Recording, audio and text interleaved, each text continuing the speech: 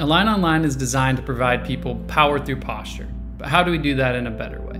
We all know the power of habits. If you continue to do the right thing over a course of time, you're almost guaranteed to get where you want to go. An old mentor of mine used to tell every patient that a lack of patient adherence was the number one reason for failure.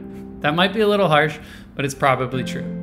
The reality is, though, it's not all on you. Typically, physical therapy is completed almost exclusively in the treatment, with very little or minimal direction given to what you're supposed to do every day outside of treatment. And even if your therapist is great and gives you direction, there's really no good way for them to keep you accountable, monitor your progress, give you feedback, and that's a huge issue. Align Online was designed to change that. It allows your therapist to give you daily direction, monitor your progress, and help you troubleshoot if there's any issues. Align Online provides power through posture with accountability.